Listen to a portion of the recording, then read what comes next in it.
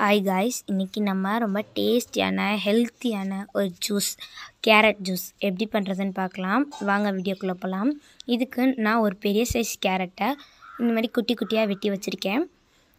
இப்போ இந்த கேரட்டை நம்ம மிக்ஸி ஜாரில் சேர்த்துக்கலாம். இந்த கேரட்டில் நம்ம சர்க்கரை சேர்க்க மாட்டோம். ஏன்னா கேரட்டே இனிப்பாக இருக்கும். அதனால் சர்க்கரை சேர்க்க வேணாம். இப்போ எல்லா கேரட்டையும் நம்ம சேர்த்துக்கலாம். இப்போ எல்லா கேரட்டையும் சேர்த்தாச்சு. இப்போ ஒரு அரை டம்ளர் அளவு நான் தண்ணி சேர்த்துக்கிறேன். ஏன் தண்ணி சேர்க்குறோன்னா ரொம்ப திக்னஸாக இருந்துச்சுன்னா நம்ம வடிகட்டும் போது அது வடியாது. அதனால தான் நம்ம தண்ணி சேர்க்குறோம். இப்போ ஏலக்காய் தட்டி நான் சேர்த்துக்கிறேன்.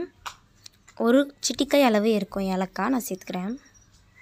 சேர்த்து இப்போ நம்ம அரைச்சிக்கலாம். இப்போ பாருங்கள் நல்லா ஃபைனாக நான் அரைச்சி எடுத்துட்டேன் இப்போ இது தனியாக இருக்கட்டும். இப்போ ஒரு பாத்திரம் எடுத்துக்கிறேன். அதில் நான் வடிகட்டி வச்சுக்கிறேன். வடிகட்டியில் நம்ம பண்ண கேரட் ஜூஸ் எடுத்து சேர்த்துக்கலாம்.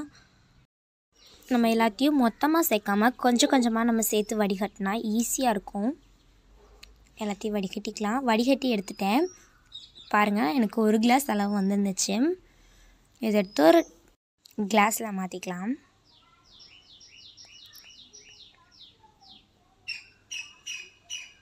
அவ்வளோதான் நம்ம ஜூஸ் ரெடி ஆயிடுச்சு இந்த வீடியோ பிடிச்சிருந்துச்சுன்னா லைக் பண்ணுங்கள் ஷேர் பண்ணுங்கள் கமெண்ட் பண்ணுங்கள் மறக்காமல் சப்ஸ்கிரைப் பண்ணுங்கள் அடுத்த வீடியோவில் பார்க்கலாம். பாய்